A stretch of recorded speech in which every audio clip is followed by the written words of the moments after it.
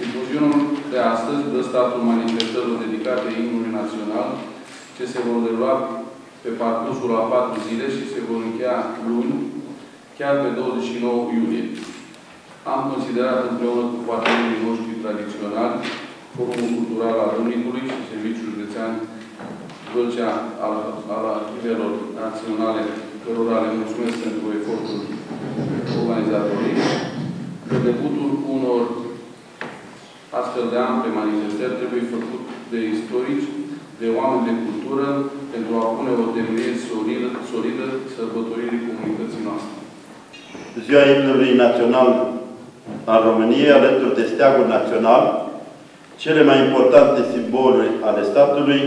constituie un moment de înălțare spirituală pentru toți fiii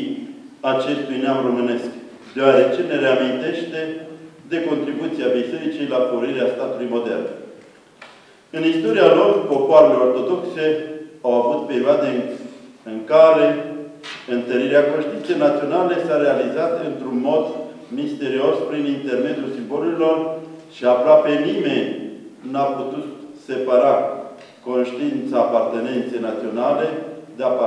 apartenența la Biserica Ortodoxă.